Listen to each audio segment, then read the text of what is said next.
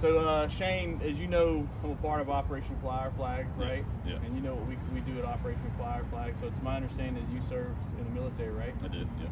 What branch? Army. Army. Yep. How many years were you in Army? Uh, four years.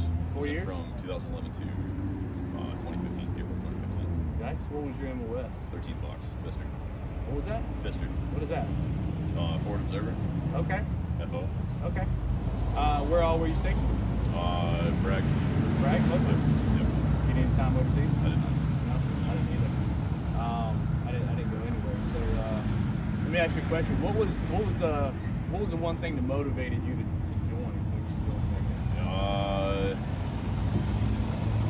at the time was called, and it just kind of turned into after I got in, I realized I, I enjoyed doing it. Okay. Uh, I, I liked the brotherhood. I liked, you know, being around people that that uh, gave a damn about what they were doing and Yeah. know, had the heart and soul. So So you're you probably say the brotherhood was your number one. yeah, yeah, definitely. Thing about the army. Yeah, me too, man. I get that so much. Well, like I said, Shane, I won't keep you long. I know you got a lot of work to do here. You know what we do at Operation Fly Our Flag, so I just want to take a moment. I've been meaning to get this done for you, and I just want to present this to you. So, Shane, on behalf of Operation Fly Our Flag, I'd like to present this to you as a token of our appreciation for your service and dedication to our country. I appreciate it. Thank you and welcome home, my brother. Thank you. Operation Fly Our Flag. We'll catch y'all soon. Get a picture real quick, man.